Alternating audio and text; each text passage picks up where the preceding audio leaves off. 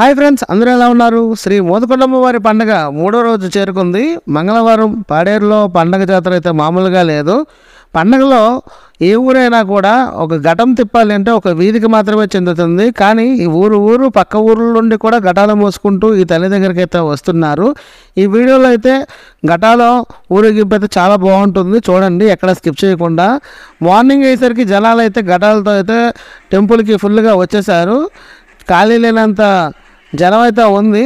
వీడియోని ఎక్కడ స్కిప్ చేయకుండా చూస్తే మీకు తెలుస్తుంది. ఊరు మొత్తం కూడా ఘటాలు మోసుకుంటూ దేవుడికైతే మొక్కులు అయితే సమర్పించుకుంటున్నారు.